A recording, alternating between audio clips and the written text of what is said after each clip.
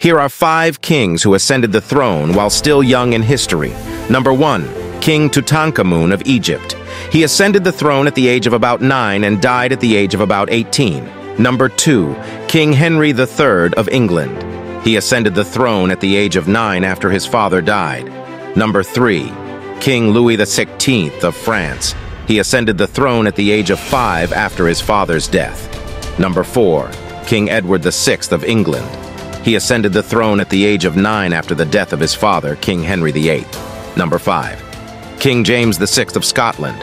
He ascended the throne at the age of one after his mother, Queen Mary, was forced to abdicate.